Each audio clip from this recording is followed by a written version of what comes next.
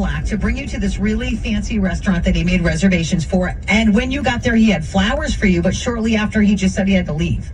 Yeah, that's it. And he, didn't, and he didn't give you any reason. He just left and you haven't heard from him.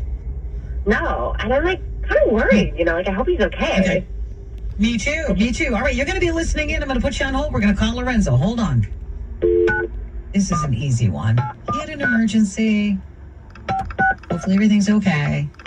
They're going to go on a second date, fall in love, Yeah, have babies, or have babies, then fall in love, or Maybe- whatever. However, maybe he's a wanna do doctor. Mm. Hello. Hello, is Lorenzo there? Uh, yes, this is Lorenzo. Hello, Lorenzo. This is Courtney. Hey, dog, what's up? It's Walmart Jeff. Uh, we're calling from Kiss 95.7. You're on the radio. Oh, wonderful. I- I've listened to you before. I love your show. Thank you. I appreciate it. Thanks. You sound very formal this morning. Anyway, um, Lorenzo, thank you for listening. So hopefully you know what second date update is all about. That's when somebody calls us. They went on a first date, but they get ghosted and they want answers.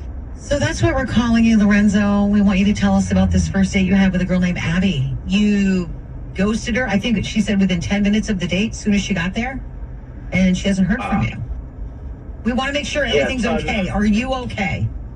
Uh, yes, uh, uh, thinking back on it, unfortunately, uh, Abby was just not quite up to standards. So, Wait, wait, Lorenzo. Wait, so you sent her an Uber Black. You gave her flowers and you left because she wasn't. I don't understand, like, up to your standards. I don't get it. Like, what? I don't understand what you're trying to say. I, I, Was- I believe that when one goes out on a date, you know, there are certain expectations of both people there. Uh, as the one hosting you, there are certain expectations of me. So, you know, you're correct. I had an Uber Black sent to her. I had flowers waiting for her. Uh, I had chosen a very nice restaurant for the two of us uh, to go to. Uh, and she, and her wisdom, chose to wear a pair of awful Robin jeans on a first date uh, at an upscale restaurant. And frankly, that is something that I cannot abide.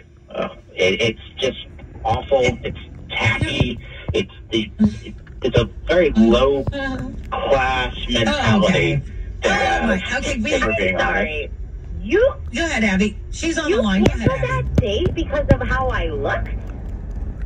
Are you I kidding? canceled that date because at a upscale restaurant, you chose to dress like we were going to McDonald's. Oh, my. Oh my god. I I thought something was wrong. I've been worried about you. I thought oh my What? you just wow. Wow. Look, That is not look, I, I, I, I obviously respect y- your choice to dress as you feel, but in the social oh, circles Oh, that I run in, I. I Oh can't God, be seen it? with that kind of that kind of dress social in a, in a public space. So you want a trophy wife. You just you only you just want women to be seen and not heard. Is that what's going on here? Oh my god. No, I want a woman of quality, not somebody who thinks that we're dressing up for a third grade dance. Oh my God. Wow. Can I just say, Abby, and under normal circumstances, I would have already hung up on Lorenzo, but I enjoy listening to his ignorance. For some reason, the more you talk, Lorenzo, Wow. Jeff, the more you talk, it's just it's it's it's honestly, Abby, laughable, and I think you do. I think you dodged a bullet.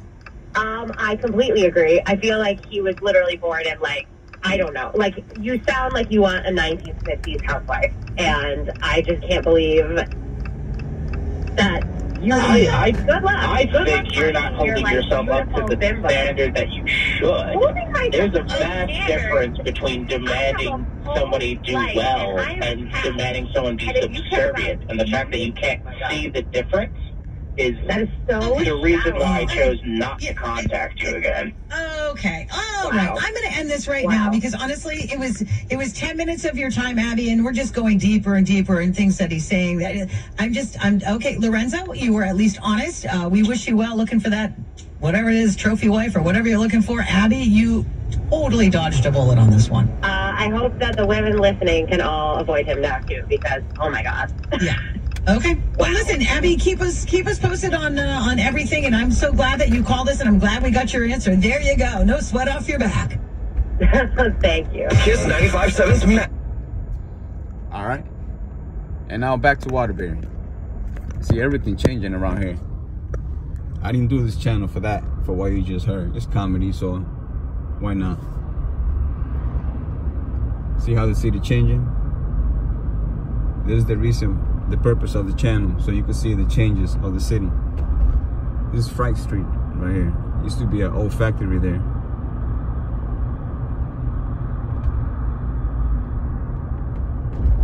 And if I'm not mistaken, they're gonna rebuild the train track so we could go further now.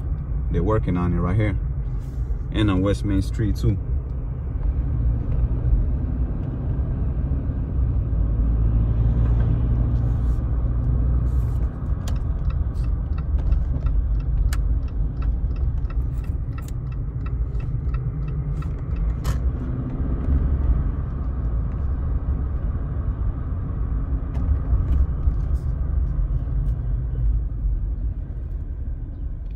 As usual. Thanks for watching. Make sure you guys like subscribe. You can share comment whatever you feel like doing. Thank you. Peace